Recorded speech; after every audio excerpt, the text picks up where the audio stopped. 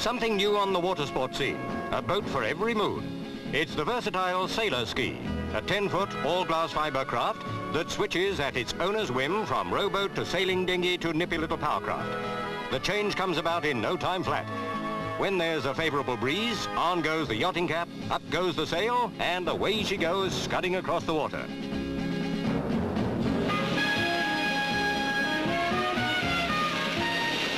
With an engine, she's equally at home towing a skier or zooming about with terrific agility.